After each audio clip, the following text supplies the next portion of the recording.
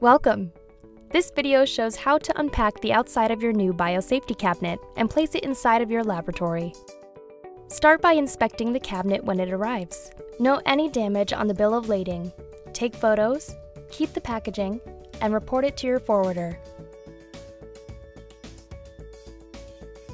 After passing inspection, two people should move the biosafety cabinet to the laboratory. Reference industry guidelines, such as NSF, ANSI 49, Annex E, to place the biosafety cabinet where room air is motionless. Observe the floor plan to see some examples of places that would not meet these criteria.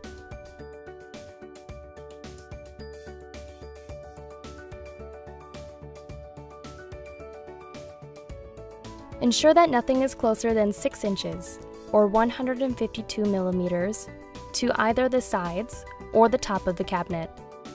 Make sure a grounded outlet from a dedicated circuit that meets the requirements on the cabinet data plate is close enough for the power cord to be easily plugged or unplugged.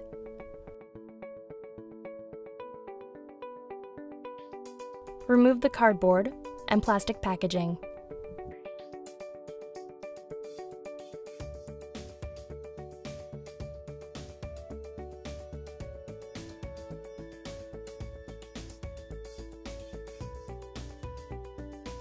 Place the envelopes for the hardware and documents in a safe place. Unbolt the biosafety cabinet from the wooden pallet.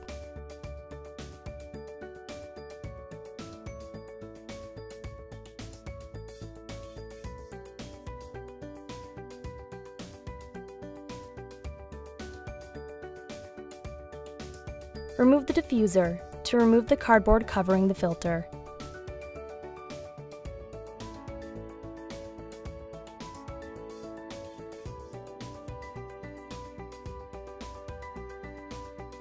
Return the diffuser when done.